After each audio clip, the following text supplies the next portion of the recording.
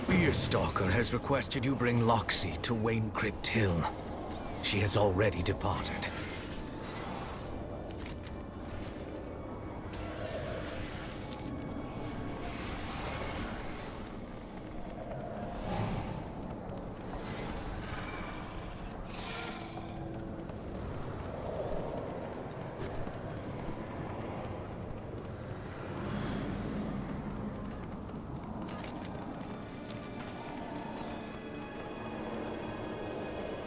Why would anyone walk anywhere?